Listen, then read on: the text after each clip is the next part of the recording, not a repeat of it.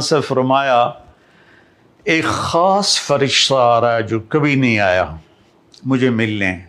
तो दरवाज़े पे खड़ी हो जाओ, किसी को अंदर ना आने देना। तो वो खड़ी हो गई। इतने में हुसैन आए।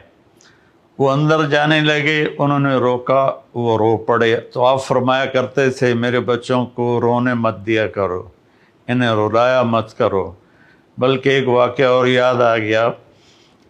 दोनों बच्चे धूप में खेल रहे थे तो आप और मौला अली का गुजर हुआ आपका अली, मेरे बच्चे धूप में खेल रहे हैं, जल्दी से इनको घर ले जाओ।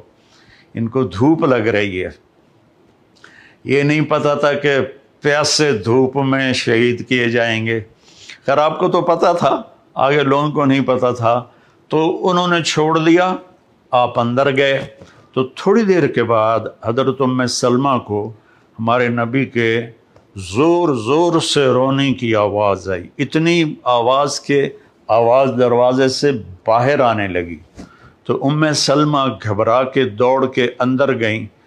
तो उन्होंने देखा, आपने हुसैन को यूँ सीने से चिपकाया हुआ था और हिचकियाँ मार के रो रहे थे। तो उम्म सलमा ने पूछा, माँ बाप, मेरे कुर्बान या रसूलुल्लाह, क्या हुआ? तो आपने फरमाया, ये फ़रिश्ता जो मेरे पास आया है, और एक रवायत में आता है जबरील थे, और एक रवायत में आता है ख़ास फ़रिश्ता एक और था। ये मुझे बता रहा है कि मेरे बच्चे को मेरी उम्मत ही कत्ल कर देगी, और ये वो मिट्टी है जिसमें उसे कत्ल किया जाएगा और शहीद किया जाएगा।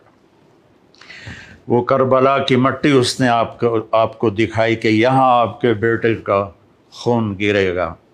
जब हज़रत अली सलाम तशरीफ़ ले जा रहे थे कोफा हिजरत करके और कैपिटल वहाँ बना रहे थे, जब दरिया फ़ुरात के किनारे से गुज़रे तो आपने कहा, सबरन अबा अब्दुल्ला, सबरन अबा अब्दुल्ला, सबरन अबा अब्दुल्ला।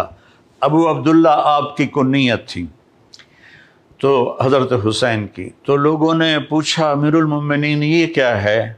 कहा, मेरे नबी ने ख़बर दी थी कि इस दरिया के किनारे और इस मिट्टी में मेरा बच्चा शहीद किया जाएगा। तो मैं उसको अभी से कह रहा हूँ कि सब्र करना है, सब्र करना है, सब्र करना है। जब आप नमाज़ पढ़ाते थे तो वो कंधों पर चढ़ने वाली रिवायत तो मशहूर है, मैं एक और रिवायत बताता हूँ। तो एक भाई उधर बैठ जाता आपके सामने और एक आपके पीछे बैठ जाता है। ठीक है? एक आगे, एक पीछे। तो अब वो दोनों तबादला करते। हसन इधर घुसते, हुसैन उधर घुसते। फिर फिर हुसैन इधर घुसते, हसन उधर घुसते। ये ये क्रॉसिंग दोनों बच्चों की पूरी नमाज़ में चलती रहती थी और आप सुकून से नमाज़ पढ़ाते थे। और ये वाक़ तो बहुत दफ़ा हुआ है कि कभी दोनों कट्ठे ऊपर बैठ जाते कमर पर, कभी एक बैठता था, कभी हसन, कभी हुसैन।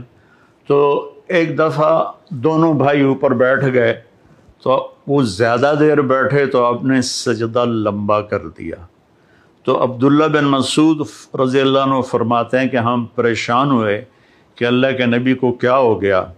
तो थोड़ा सा सर उठा के देखा तो दोनों भाई ऊपर खेल रहे थे, बातें कर रहे थे। तो एक साहबी जो करीब थे, उन्होंने ऐसे हाथ बढ़ाया उनको पकड़कर नीचे उतारने के लिए। तो आपने यहाँ से देखा कि कोई हाथ इधर आ रहा है।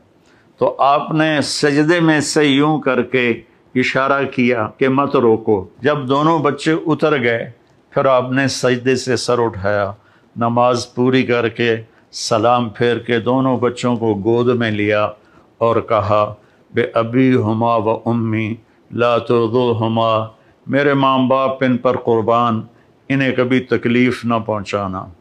कि आप देख रहे थे क्या होने वाला है?